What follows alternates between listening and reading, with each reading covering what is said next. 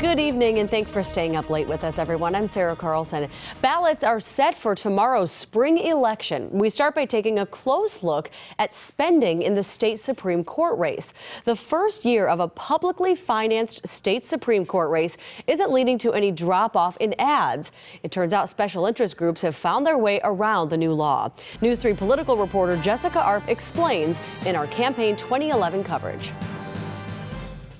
A mother tells DA David Prosser her two young sons were sexually assaulted. JoAnne Kloppenburg says she has courtroom experience, but Kloppenburg's never been a judge. With all the attack ads airing across the state, you'd never know this is the first Supreme Court race where both candidates are running solely on taxpayer dollars. I don't think it's working out quite as they hoped. The idea is that you would free the candidates from the need to raise any money at all.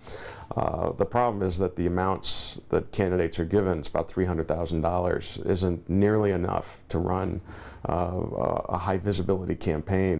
UW political scientist Ken Mayer says attack ads by interest groups are filling the vacuum of spending, but part of the law giving candidates the option for public financing tried to account for that, giving candidates extra funds when money was being on attack ads against them to fight back.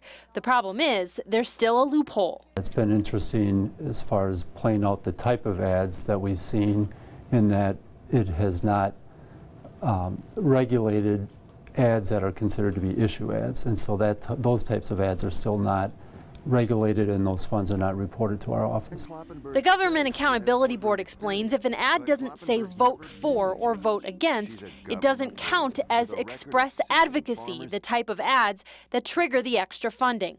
Instead, groups run issue ads with language like this. Tell Kloppenburg to fight crime, not our farmers and employers. And that's a safe harbor. As long as you do that, then that's, the, that's what the ad is telling people to do. It's not considered a campaign ad.